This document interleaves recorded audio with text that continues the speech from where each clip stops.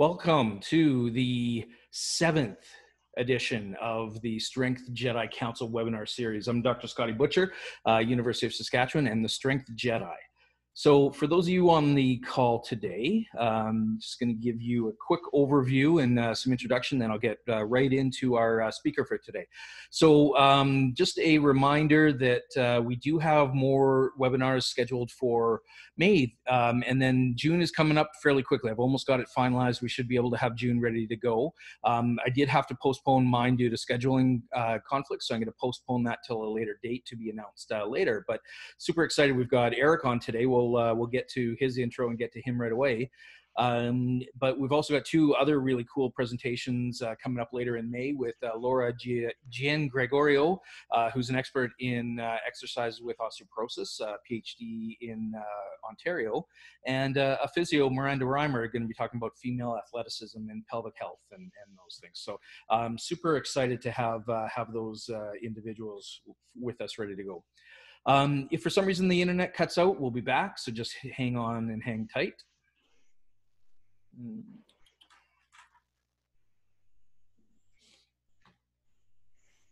Just having a uh, computer issue. Hang on a sec. There we go. Oh, all right. Here we go. Right into the intro. So uh, sit back and enjoy.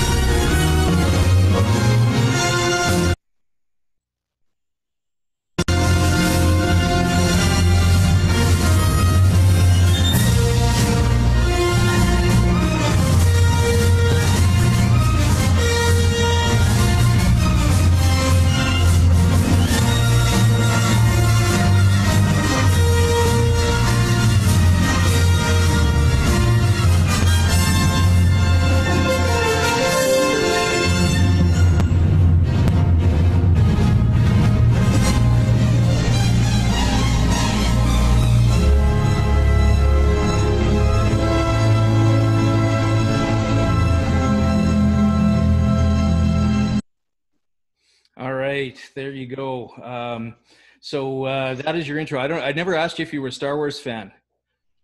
Uh, a little bit. My girlfriend actually got me into like seeing all the episodes on May the Fourth. but yeah, you watched them all May the Fourth. Oh man, it took us forever. That's awesome. she's not working, so she, ah. she's not working, but I'm here full time. So yeah, yeah, good, good on you. That's that's awesome.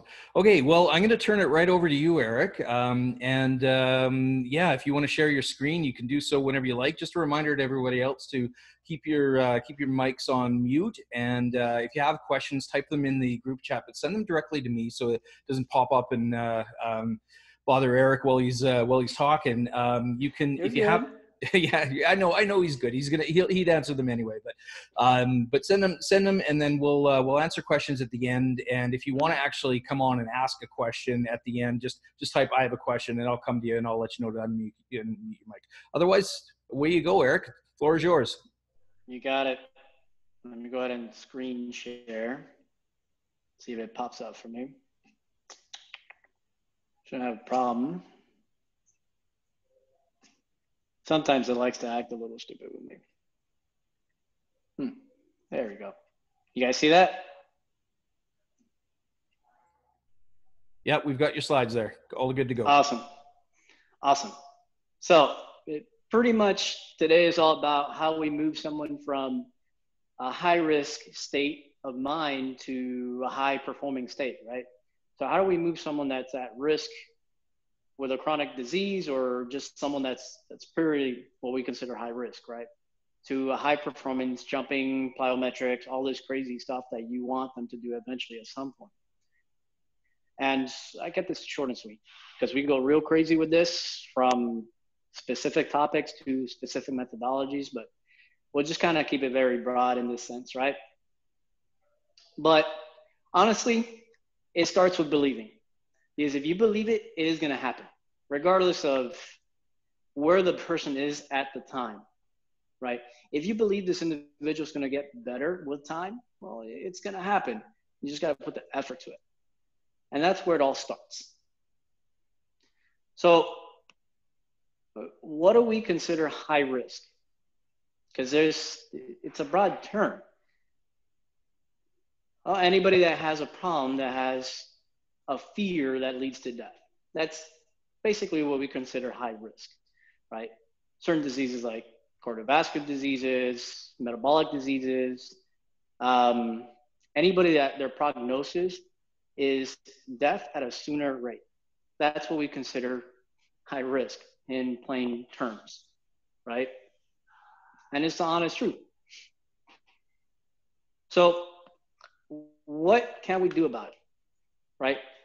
How do we actually change this person's life or even your life or whoever, whatever situation it is? How do we actually do something about it? Well, something that we've been kind of playing around for several years is these main focuses, whether it's kind of like the main things that we aim for in our general practice that that I've used for multiple years, whether it's cardiac rehab, pulmonary rehab, um, general population, but it all starts with these stepping stones. One, you got to educate the person, period. Then you have to have your main assessment, micro assess every day, put this person in a place to win every time, a position of winning each time.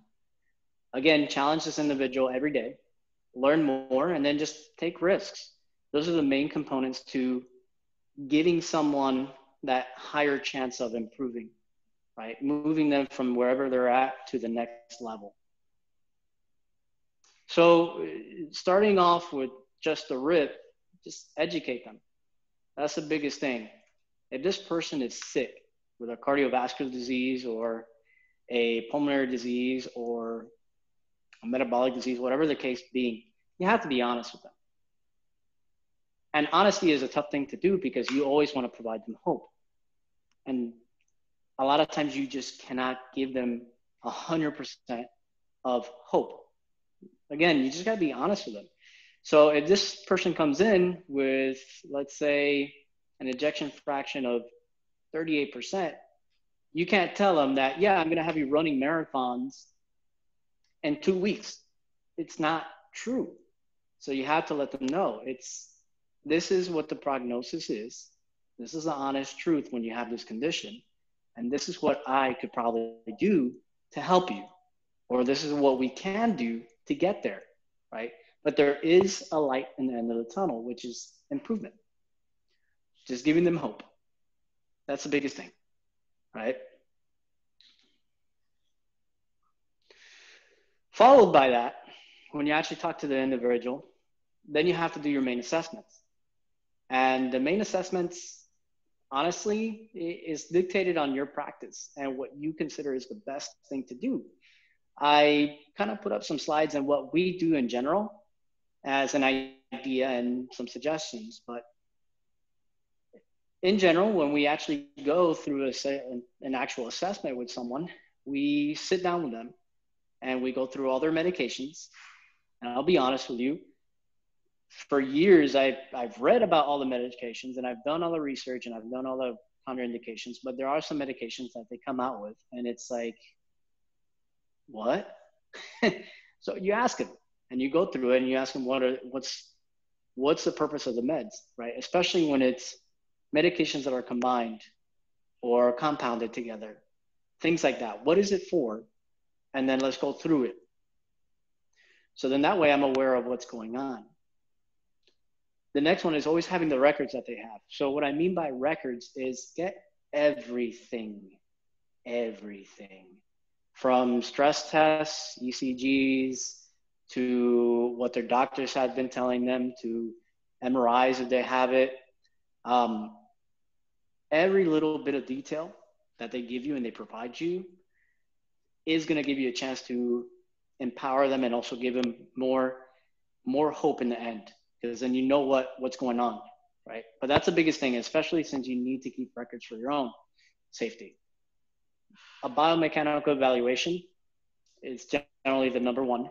And when we do biomechanical evals we're not talking about like like a basic fms come and do a squat for me and let me see if you can squat. No you're to have cases that they can't do a squat. They can't walk they can't do that. They're in pain. So find alternatives. Look at their full functional capacity when you can right? So if this individual can't walk. Guess what? I'm going to look at how you raise your shoulders while you're seated. Are you leaning forward? Are you compensating in some other angle? If they can't sit because they had a recent surgery or they are diagnosed with who knows spina bifida or something in the case where they cannot sit. Well, let's do a supine movement, right?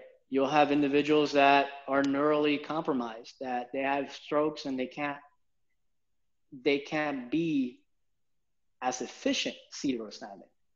So do things that you can't do supine. I literally had a guy show me just how do you raise your leg laying on the table. How do you do it? Because that's all he could do. And then from there, you could devise your own biomechanical efficiency, right? Where's the energy leaks? Where's some of the stuff that that that's occurring? Another process of evaluation is that I want to look at everything and everything I can look at, right?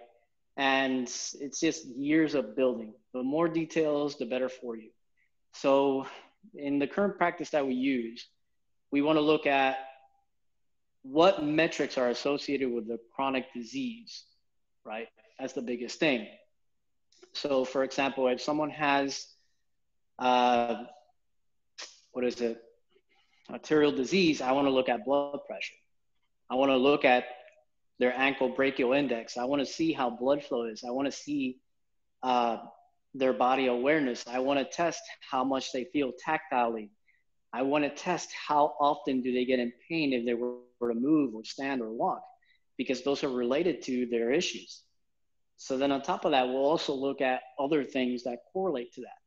So one example on this slide is if we have someone that is compromised arterially, their body awareness is going to diminish and it's just they, they just don't feel they don't feel things anymore so that's where the fascia becomes a problem so I'm going to test the fascia.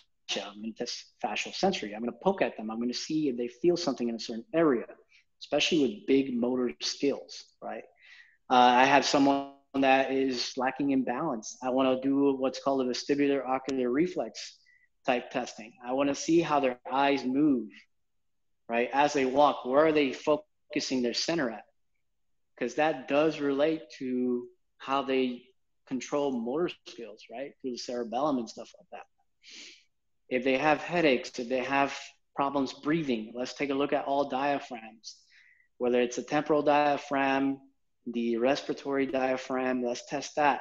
Just throw as much stuff as you can when you deal with these individuals.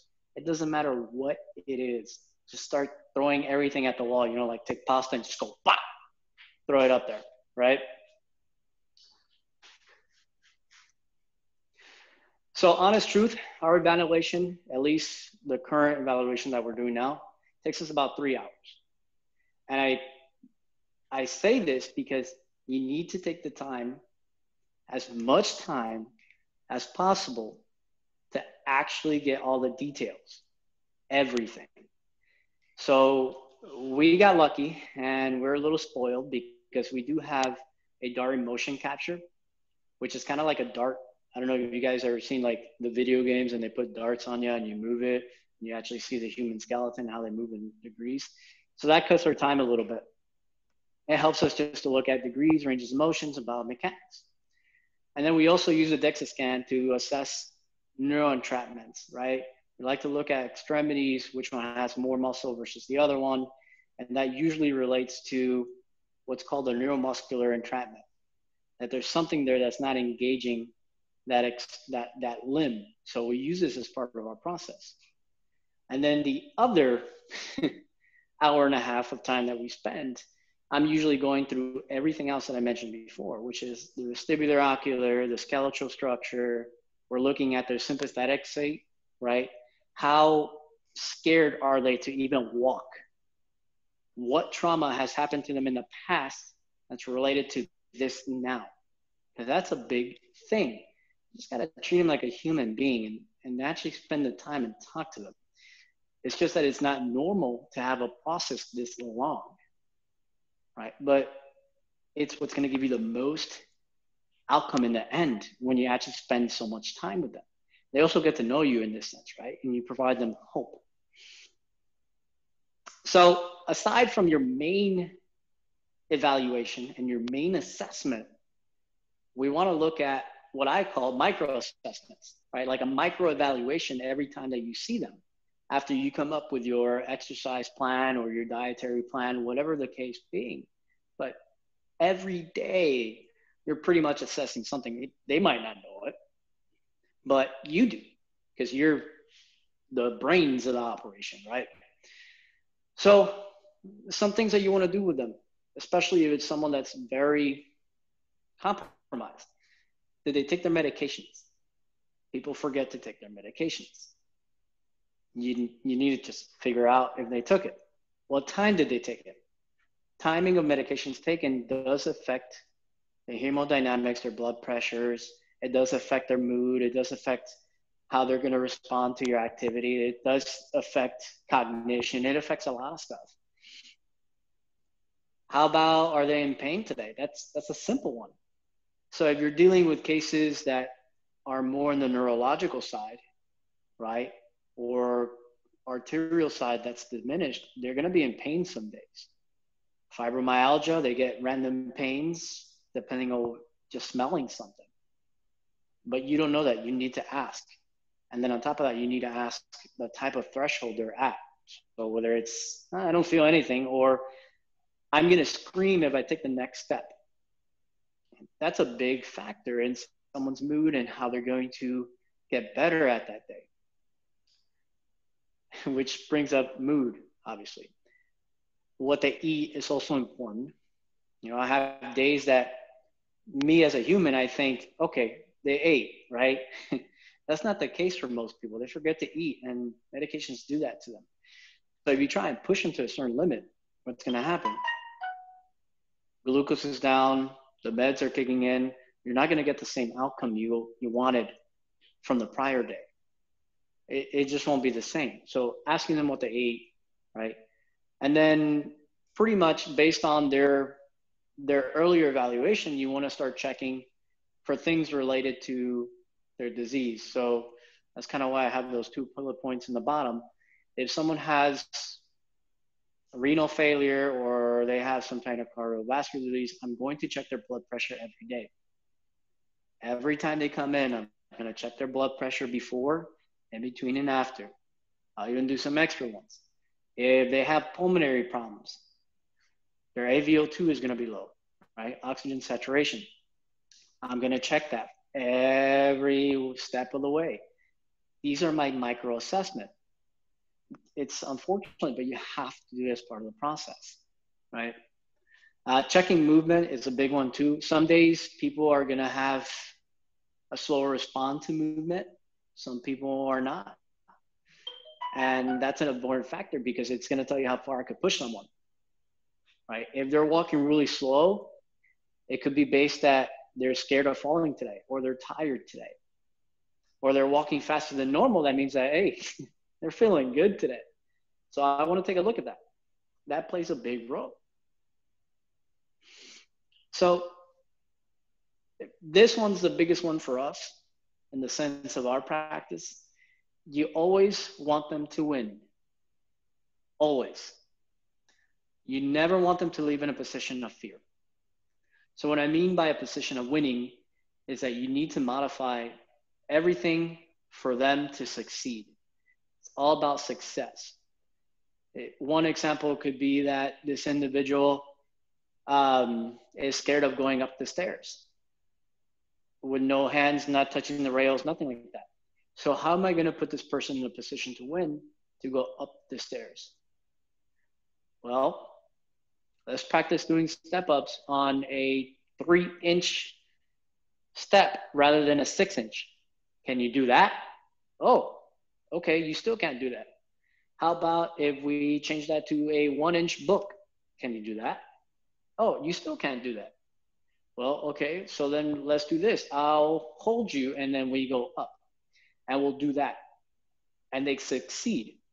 And then once they feel comfortable with that success, then bump it up a notch, right? And you keep giving them successes and you keep celebrating that success of winning.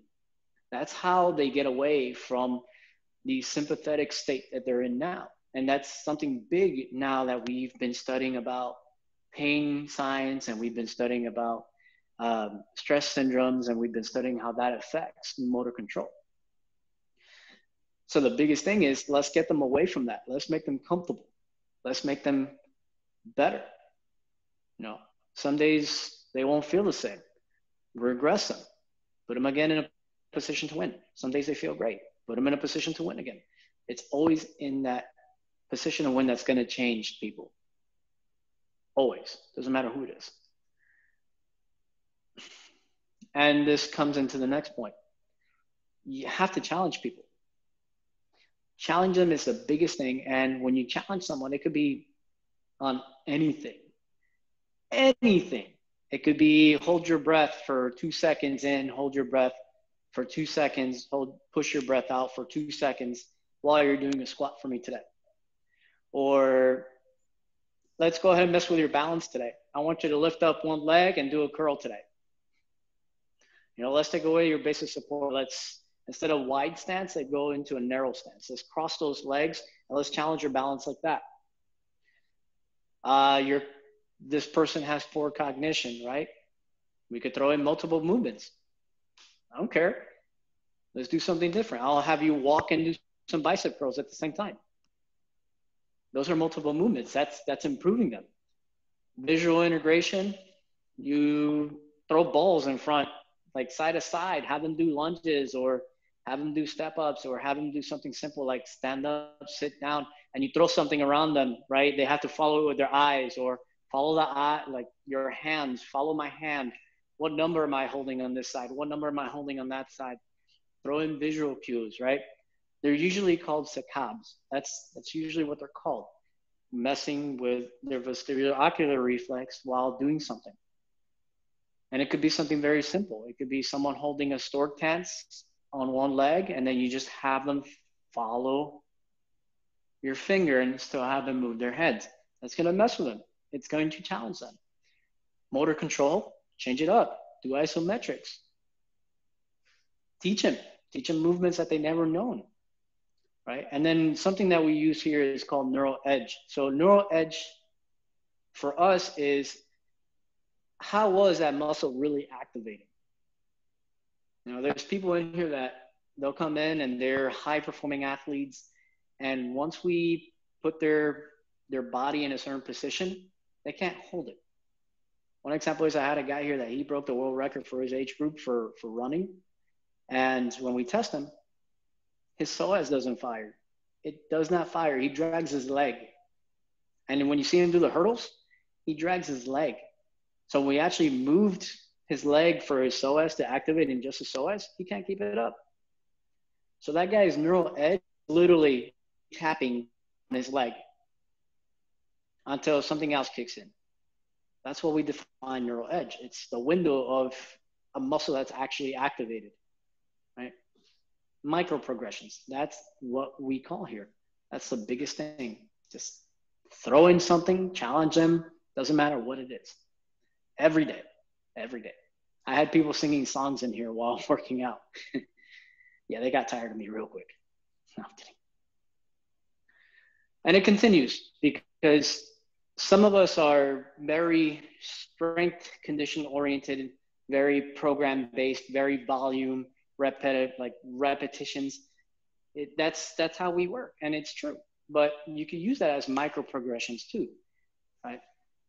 So the way that at least the program that that we kind of have most people in, we we want to look at what we consider is relative to absolute risks when we do these progressions.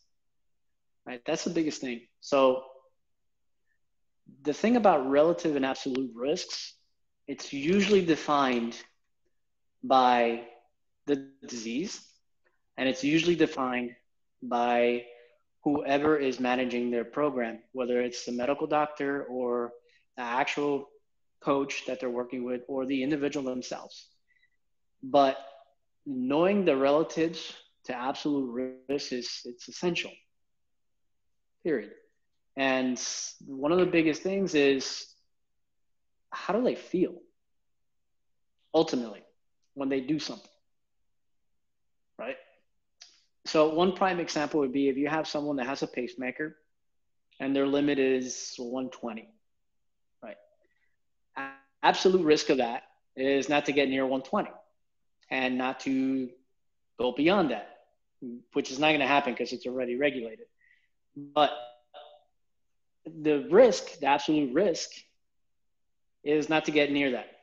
So you want to try and keep it below 20 beats. That could be relative. I could have someone that's in their 50s with a pacemaker with really great blood pressure, no medications, well controlled, right? And he feels phenomenal at 101 beats per minute of their heart rate. Does that mean I did something wrong? No, because it's relative to that individual. They're they're ultimately healthy. They just unfortunately have a have a pacemaker, which consider them high risk. But to this individual, it's it's relative. It feels good, you know, and that's something that you have to take into account. Because a lot of times these fear factors come in and we we avoid getting there. And again, this is going to be based on guidelines that you choose or the individual feels like. That's at least my biggest peeve is that. Make your guidelines, decide what's called relative and what's called absolute for you when it comes to dealing with the chronic patients that you're trying to push to higher performance. Aside from that, like if you want to challenge them even more, just start changing some of this stuff, right? Like volume would be the first thing. Add more activity, add more walking, add more weight training, more strength training, more whatever the case is, add more volume. Once they succeed in volume, then we could add more more movements, right? We could add more uh, more strength-based stuff, right? Another idea would be adding movements for movement stability. It comes back to this balance, getting more cognition in their movements, making them do multiple things at once. I learned a woman that told me that, hey, you know what? I could pour coffee, get on the phone, and walk at the same time. I'm like, okay, that's cool. She's no, no, no, no, no, no, no. You don't get it. I had trouble just writing. So those little things are important. It doesn't seem much, but it helps. Adding speed and reducing speed, this is something that you could do. You just make them either move faster or slow down. That's ways of challenging people. Micro progressions. Isometrics, I have no idea why that's spaced out, but isometrics are a good way to manipulate people. And it doesn't matter who you are, you do an isometric for a minute, you're going to almost pass out. I don't care who it is. Try holding a lunge for a minute. Try holding your leg for a minute, like up, like into a stork stance. You are going to get tired, right? And then at the very end, I have here add effort. So that's that's a big one. I didn't put add strength or add more weight, add effort, because that's going to be based on the individual again. You can have someone that their effort is bring up their arm, just don't resist me. This is hard enough for them. It's difficult, but that's effort. Might not be nothing to anybody else, but it could be something for them, right? So this is a good example. This this young lady, at least I like to call her young lady, but she pushed herself to the boundaries and she was my favorite because she started off with I can't walk, I can't feel my feet. I don't know what's going on. I, I need sticks. I can't I can't walk. I, period.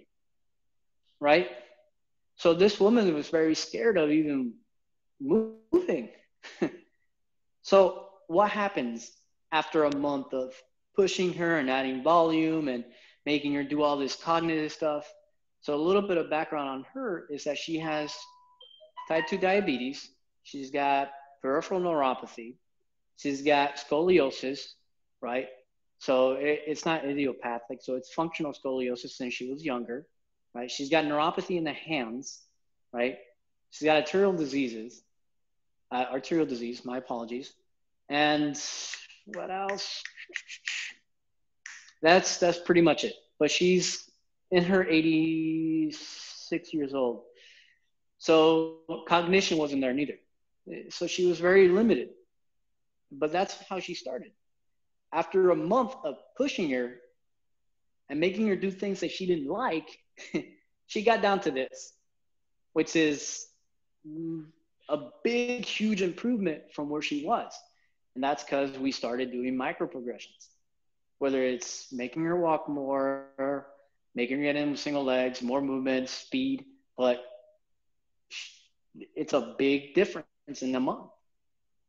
This woman also came up to me one day and she said, I could feel cold in my feet. Okay, that's that's that's awesome. So no, no, no, no, no, no, no. I could feel cold in my feet.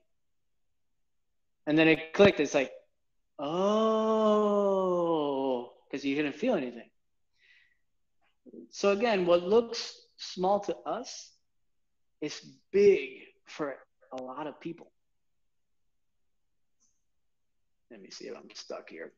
All right, cool. So the biggest thing is learn more. and I say this because it's the honest truth. We need to keep learning. Doesn't matter who it is. In the end, if we don't keep learning, our belief is going to keep us stuck. Our current belief of what we understand is going to keep us stuck. So the idea is that you never want to position yourself as the expert. Never, never. Because what they say is that if you're an expert, you're going to mostly be battling keeping your expertise in queue. So instead of learning more, you're going to keep battling what you know already, which is it's going to get you to stop learning, right? And you want to go through every single type of practice that you can, especially when when you want to help an individual. And I'm prime example. I grew up and I did ACSM, and I said to myself, "Oh, I just want to do ACSM." And then all of a sudden, some guy came in here and he's like, "No, try this with the eyes." And it's like, "Oh, no more shoulder pain. What's that got to do with my shoulder?" And then another guy came in and he said to me, "Well, look at your lymphatic system you have inflammation. I'm like, what's that got to do with my body? And then we, we do the lymphatic, you know, lymphatic flush, and all of a sudden, hey, no more back pain. What just happened? If I wasn't open to that, I wouldn't be able to take that and use it into our current practice and just dump it in there. So uh, just be open to it. And then other than that, the thing that makes us makes anybody great is to have your A team, right? Just recruit people. I, I can't do this alone. No one can do this alone. I have a functional medicine doctor here with me. He tells me, Oh, you're an idiot. And I look at him, I go, Yeah, you too. I still love you, man. I love you too. So you have your team that supports you and keeps going, you keeps keeps moving things forward for you, right? Whether doesn't matter what practice it is, but once you develop a team, you're going to be able to do leaps and bounds, which is awesome, right? One of the biggest things that I usually tell everybody is that you could be the smartest person alive. You could be the best at what you do. You could do thousands of hours of education. You'd be the smartest man in the room. But if you don't take the risk, you lose the chance to change your life. And it's the honest truth. I'll see students coming in and they just follow the protocols that they've learned and they've done through research and they know this stuff. But when it's time to actually take the risk and push whoever they're working with, they're scared to because of the liability, because of the fear of failing, right? But you have to. You have to. If you truly want to make a change, you have to take a small risk, obviously a well educated risk, and just push that person to the next level. Okay? It doesn't matter who it is. You know, and you'll be you'll you'll have a lot of great great experiences like that. I've had people come in and we'd work for a month and they'll leave me. And right before they leave they give me a big hug and they start crying and they start tearing up. And i'm like what's wrong? You're doing fine. Like what's going on? And say look i didn't know what to expect seeing you but everybody else before you has given up on me. They just gave up on me. And they're bawling and tearing. And it's like why would someone tell you that you can't do that because they were scared that's usually the reason that they'll tell me but then once you change their life, it's like, wow. so take risks. Just take them. Doesn't matter who you are. Just take them, but do it smart. Don't tell them to jump off a bridge. Right. And that's pretty much everything I got for you guys today. Is short, sweet, sweet, simple. Um, but those are some tidbits when it comes to dealing with high risk pop and then trying to progress them over to high performance, right? All the way to the max. And that's that's all I got for you. That was awesome. Thank you, Eric. That's uh, yeah, no, really, really nice insight into your uh, into your practice and uh, the the way that you approach things. So so thanks very much for uh, for taking the time for that. Um, so I have I have like one or two things that I want to uh, touch on, but uh, for those that are on the mm-hmm. call, if you have any questions, you can type them in the group chat to uh, um, type them to me so that, uh, that I can then, you know, kind of uh, maybe collate and rephrase. Um, and uh, but if you want to just actually come on and ask uh, ask him directly then just just say i have a question and i'll come to you so so just let uh, let me know type it in the group chat um, so Eric, one of the things you talked about, uh, I'll just start off with a question while we're waiting, um, was was sort of blending the East and the West philosophies um, in your clinic as one of the main things that you're doing. And right. I recognize that you've talked quite a bit about um, you've talked quite a bit about uh, some of the uh, the things we wouldn't normally think of. You know, looking at uh, the different uh, um, visual auditory systems, things like that. Um, do you, do you have uh, do you have sort of a in any common go tos when it comes to uh, sort of sympathetic modulation and trying to reduce sympathetic input to uh, to impact uh, their pain mm. abilities and things like that? Oh, that's that's uh so go to as in like reading material or just kind of like methodologies? Yeah, I'm thinking methodologies. Like, what do you typically okay. do with them? Give me some examples of you know the type of approach you would take. So when it when it comes to like sympathetic state, it's really based on the person, right? Because you could get agitated by smells. So probably looking at aromatherapy might help. So some of the some of the things that we try and incorporate is um, it's basically how do you how do you prescribe it? Um, journaling is a big one for us. So we'll have you journal your thoughts at night and actually do an emotional release. That's one way of doing an emotional release, journaling your thoughts, getting away from all the things that actually trouble you and just escaping it. We do a RIN release, which is basically I'll have you write down the worst thing that's ever happened to you in your life that's still stuck on you. You don't have to show me. Just write it in your hand, like write it in a piece of paper, fold it. And I want you to put energy in that. And then once you have energy in that, just rip it, tear it, do whatever you want to it, throw it out there. And then all of a sudden you see people like respond differently because they're like, wow. I like, oh, okay. Another one that we do is uh, a physical emotional release where we actually take our thumb and we go into kind of like right underneath the stomach. So we actually shove our thumb through there and we try and get the biggest lymph node, which is the, the sternocleidomastoid.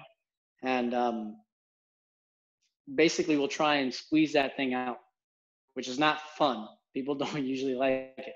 But when you look at Eastern and Western methodology, your emotional center, your yin and yang, go together in between here in your stomach. So it's like, oh, wow, that makes sense. I know why that happens. And then the last thing that we try and do with with more like a physical, but we usually don't do it that often. We do a nerve block. So if we have someone, for example, high elite athlete, and they just don't let go, whether it's through emotional release or a verbal release, me and him, we just break down, then we'll do a nerve block where we find a superficial nerve of the opposite extremity that's hurting and just squeeze it until you kind of hear like a pop. and then that whole arm goes numb. But it's the most painful thing in the world. And they just let go. But there are other things that people can do, right? So, like meditation, yoga, grounding, which is take off your shoes, go on the grass, enjoy the grass, be in one, right? Uh, I'm myself, I'm going to see if I get into um, quantum medicine and get into frequency training. But it really depends on the individuals because everybody has a certain trigger, right? So if they like getting stretched and that helps you out, by all means, if it feels better and you like, oh, let's do it. If you like acupuncture and you like messing with your meridian lines, which is part of Eastern philosophy, do it. Whatever makes you happy, generally, and gets you away from your troubles, right? That's that's at least some of the things that we try and incorporate there. Awesome. No, thank you for that answer. That was good. Yeah. Um, so I do have a question here from uh, from Andrew. Andrew, do you want to un- unmute your mic and ask it directly, or should I uh, should I just ask it for you?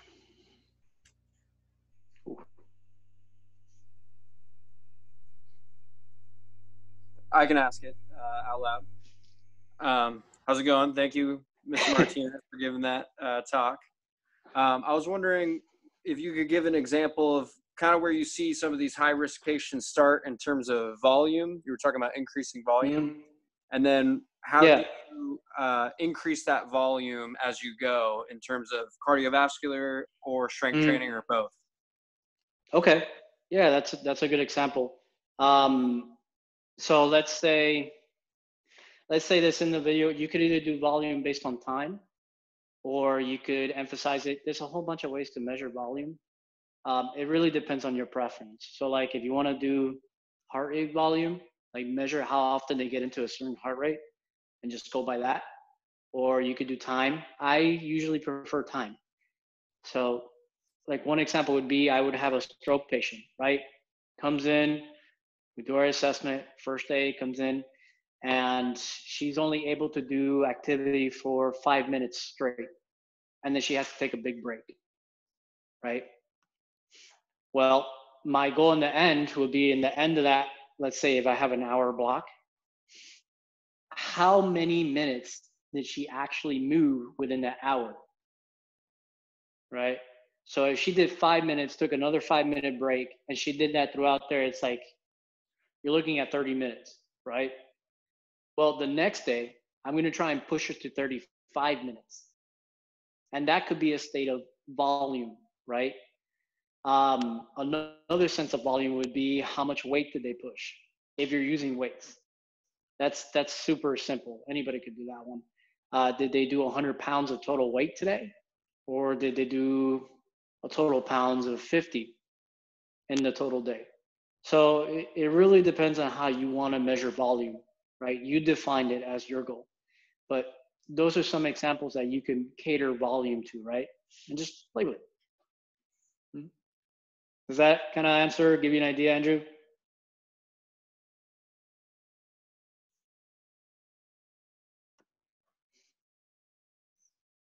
Andrew?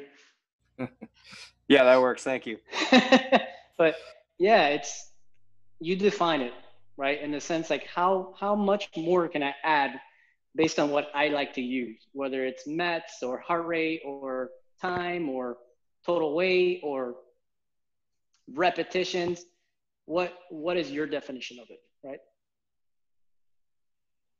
Yeah, great, great question, and and thanks for the answer on that. A um, couple big things that I took away. Like I, I really like your concept, Eric, about about you know adding effort and looking for these uh, little micro progressions that lead to little wins. And and and to me, that was like the the biggest thing that uh, that, that I know in working with um, uh, working with the uh, the individuals that I have um, in my past experience with uh, pulmonary rehab and uh, metabolic rehab, and that is is that finding those little progressions are, are the way yeah, to do man. it. So thank you for your answer, and that's that's good. But I do have a question from uh, uh, from someone else, from Joe. Joe, do you want to ask it directly, or do you want me to uh, to to ask it for you?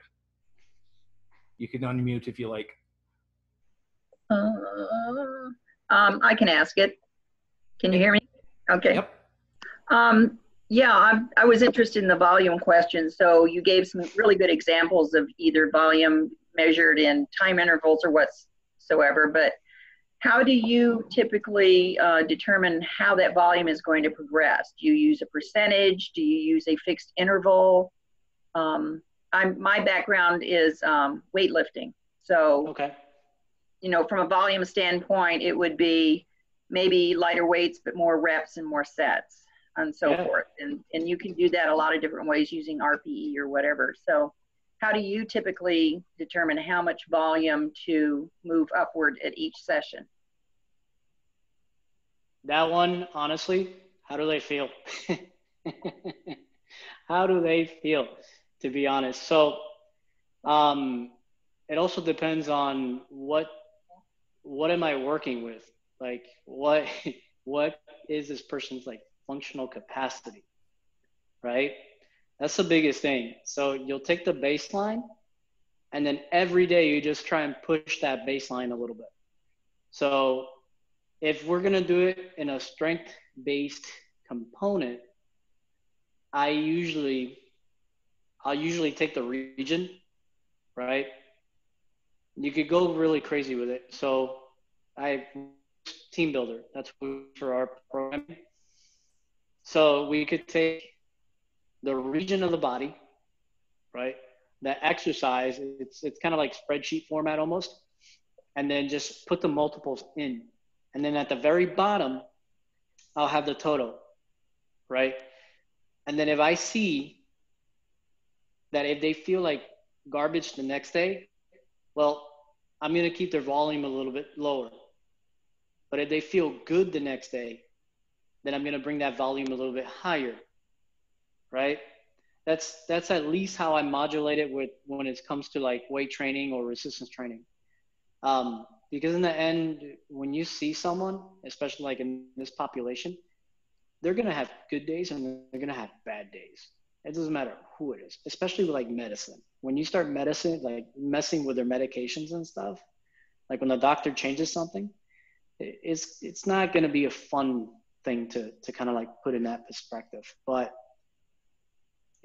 yeah, that was an interesting question because it is it is very it's very broad and you could do it in a lot of different ways. Does that kind of give you an answer how I do it? Like I don't even go by percentages. I don't even add percentages. I just add maybe like five, ten pounds each time. And if they feel good, I'll keep going. You know, but small increments. Right. Yeah. Yeah, because then the other time, I'll also give you, I'll give you an example. Like I, I kid you not, this happened once where um, I had a stroke patient, like heart disease, and I'm checking blood pressures, and she's good. Like she's at 130. It's not bad. She needs to be at a high, like a higher blood pressure because she had an aneurysm in her head, and unfortunately, if it's too low, then it gets messy. But long story short, I'm working with her one day, and then I had one of the other coaches work with her the next day. so when I asked him, "Oh, what'd you do?" It's like, "Oh, no worries. I had her do the sled pushes at 250 pounds." And I'm looking at this guy like, with a 54 year old woman with heart diseases and have issues with blood pressures, and she could get another stroke. Like, what's wrong with you? It's like, no, she felt great. Her blood pressure was fine. It was good. And I looked at him, and that's where like all this actually started for me. Because the next day she came in, she's like, "Oh, can I do the sled push again?" I looked at her like, "Sure." Sure, let's let's do it again. She felt good. It was a win for her. You know, and it wasn't for that guy doing that by by like no like nowhere. I would have never learned to take risks like that. So she went from like zero to a hundred. You know? So that was a big epiphany for me. Awesome answer. Yeah, and hopefully that answered for you, Joe. Um, but no, I, I think we. Oh yeah, go ahead, Joe. If you didn't, are you are you feeling good? Yeah, um, yeah, that was very helpful, and I think that's one thing is um, I've been involved with physical therapy too. I had um, rotator cuff surgery a couple years ago and so forth. And the and the treatment I got it was a workers' comp case. So I was pretty much I had to jump through their hoops in order to get my benefits and blah blah blah blah and all that. Mm. And the biggest disappointment I had in the whole experience was that it was cookie cutter. They had they yeah. push the screen and say, "Oh, this is your third session, so today we're doing blah." Yeah. And it didn't matter if it was not enough, it was too much, it was, well, today we're doing blah, and that was it. Yeah. There just wasn't yeah. any flexibility in the program to say, and I came in as a competitive weightlifter rehabbing a shoulder, and I was not treated as such. I was treated as a yeah. 60 year old woman who was going to fall over and die if yeah. they challenged me with anything. So, yeah, so so we have physical therapy here, and I could explain the reason behind that. It's because when it's like workers' comp and insurance, unfortunately, they have to stick to what the insurance and the workers' comp case manager believes is the best way to go. Exactly. It's it's terrible. It's terrible. That's why we do cash because cash I could I tell you to you know, do whatever the hell you want as long as I do something that's not stupid. Now, are you are you in the are you in are you in the United States or are you in Canada or where are you? I'm in the United States, so I'm in okay. Florida. So okay. here we we have a a lot of leniency, but at the same time we have to follow the cookie cutter segment. On top of that, a lot of the students that are coming out now they're they're very stuck to to this, right? And it's not their fault because they've been they've been fear mongered that if you do something outside of this, I'm going to take away your license. Right. Yeah. So it's it's not their fault ultimately. It's just that's kind of like the bigger portion why I mentioned you got to take the risk. You know, even if it's like a minute risk, you need to push the boundaries a little bit because in that you're going to get exactly what you just had. You know, bodybuilding, you know, powerlifting expertise, and you're getting this mm-mm, mm-mm, mm-mm, right? No. Great comment, an absolutely great question, uh, Joe. Um, so, um, so Eric, yes, thank you very much. Um, mm-hmm. if we don't have any more questions, I think we'll uh, we'll cap it off there. But it's been it's been a pleasure hearing you speak, and uh, I've, I've been looking into your work, and you know, knowing that you've been mm-hmm. doing some really great thing, things with some chronic disease patients down there that have pushed some boundaries and and uh, that's why I wanted to have you on, and and you, you didn't disappoint. So uh, so it's really nice to see your your you, your, your perspective on it, and and the way that you you you treat things. So uh, so that's fantastic. So yeah, thank you very much. Thanks, Scott, for having me. Yeah, no worries. All right, I'm going to end it there. But uh, thanks again, everyone, for coming on the uh, Strength Jedi webinar, and uh, thanks again to Eric. And uh, we'll see you next time.